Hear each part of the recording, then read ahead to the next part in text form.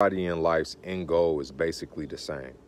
Everybody wants to have enough money to do what they want when they want to do it. Everybody wants to have a nice house. Um, and and people want to be able to travel, right? And people just want to chill. Like you want to get uh, financially to a point to where you can just relax and don't have to do anything. That's the whole point of multiple streams of income being such a big commodity because when you have multiple streams of income or passive income, you are spending your time the way that you want to spend it. So why is this big?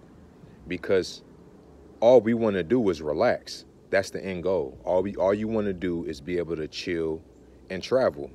Basically, that's that's basically what everybody wants to do. Everybody wants to be able to chill and travel. All right. So you see how society has created all of this shit in between from us now to chilling, right? When we could just chill right now. But society has engineered us to think that we have to do all of these things to get to that place when that place is already here. Do y'all get what I'm saying?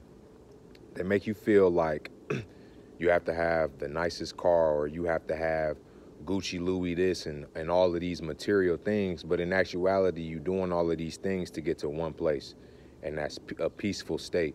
That's a state where you're not forced to being able to work. You want to work when you want to work and when you do things.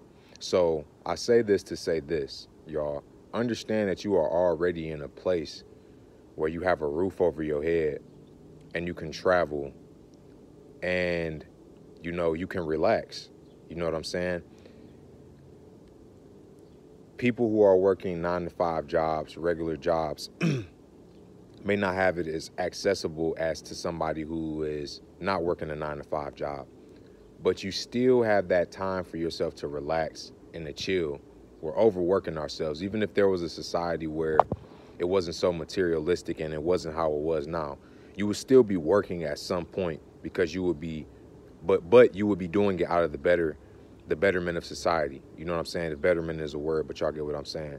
You will be doing it out of the the the love that you have for your community. So you wouldn't be making things just for money because if there was no money, you would be doing things that would be beneficial.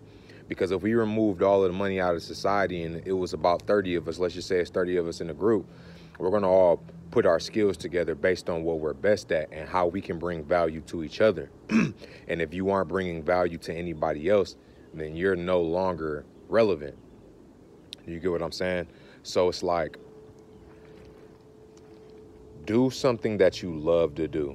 Spend your time doing something that you love to do. Don't spend all of your time in life trying to get a hold of money, trying to get a hold of physical things, physical items, because you're doing all of that just so that you can get to a place to relax, which you already are. You know what I'm saying? It's outside of the other influences that make us feel so unrelaxed.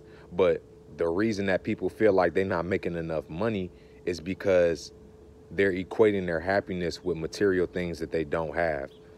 You know, um, you're alive, you're breathing, you have a roof over your head, and you have food. You should be thankful, you should be happy. But yet, in the back of your mind, you feel like you're not doing enough or you're not working hard enough, but everybody's working hard to get to that position that you're already in. So I just had to break that down because I think people are overwhelmingly distracted by all of the shit that they don't have versus what they do have. So just focus on that. Nor, nor am I saying, no, nor am I saying uh, to stop going on your endeavors to be great and to achieve that peaceful state, you know, because we all want to be financially secure. We all want to have, you know, in case of an emergency, to have money. I'm not I'm not taking away from those things. I just want you to understand this concept of life that's being projected on us and why you feel like you have to do all of these things. You know, we remove money out of the equation. We we don't have to worry about somebody uh, paying for an expensive surgery because it would be somebody who just loves taking care of people and that's their that's the value that they bring to the community. but don't let that stop you on your endeavors to the top. Don't let that stop you from being financially stable because some of us have goals, you know, to to achieve higher stages of reality. It just so happens to be that we're existing in a time where you have to go through this economic political system to obtain what it is you want to obtain that level of peace that you want. But what i what i ultimately want to say is just don't get lost in all of that on the way there. One